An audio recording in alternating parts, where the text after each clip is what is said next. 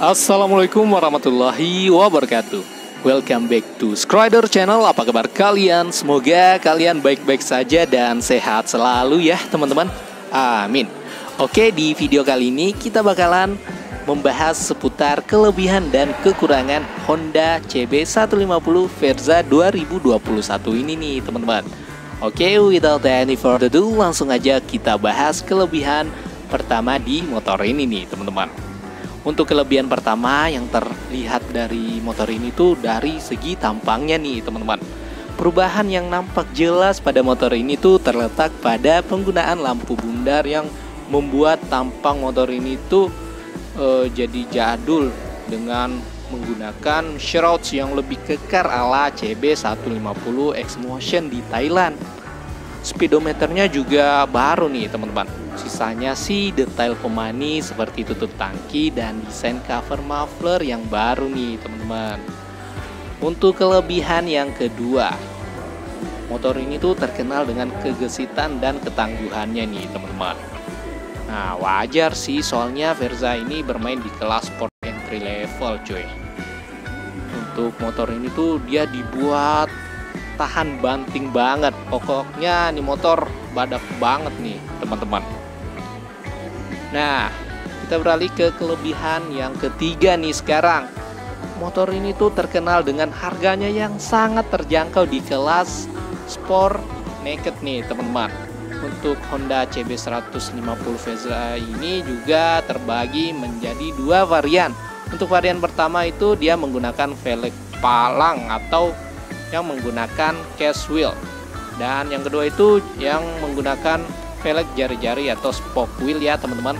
Dan untuk harganya yang velg palang itu dibanderol dengan harga 19,95 juta rupiah. Sedangkan untuk tipe velg jari-jari dia berkisar sekitar 19,3 juta OTR Jakarta ya teman-teman.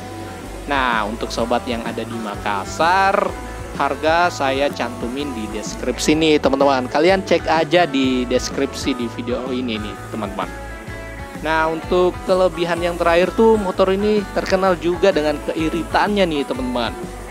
Dari sisi performa sih memang kalah jauh dari kompetitor tapi bicara soal keiritan motor ini dapat diadu nih teman-teman klaim dari AHM sendiri itu motor ini sanggup menghemat bensin hingga 46,3 km per liter.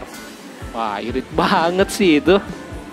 Nah, langsung nih kita bahas kekurangan dari motor ini nih, teman-teman.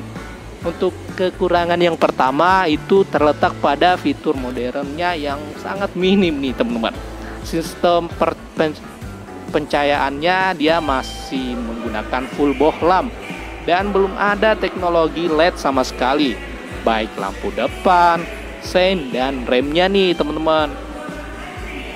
Untuk kekurangan yang kedua, performa mesinnya biasa aja jika dibandingkan dengan kompetitornya yang sama-sama SHAC dan tanpa pendingin cairan yaitu Yamaha Bison.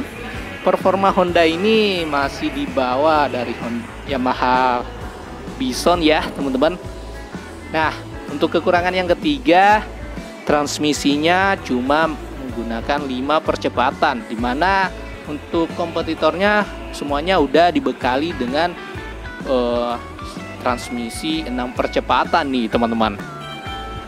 Nah, selanjutnya terletak pada sistem keselamatannya yang kurang lengkap.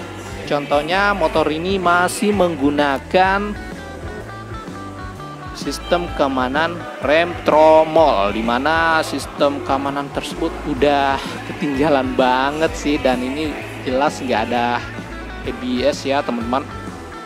Ini dia remnya masih menggunakan tromol cuy. Gila sih. Tahun gini masih pakai rem gini cuy. Dan ini dia nggak pak sepakem dengan rem cakram ya teman-teman dan yang terakhir nih teman-teman, motor ini itu desainnya tanggung nih. Klasik enggak, neo modern juga enggak cuy. Jadi tanggung banget dan motor.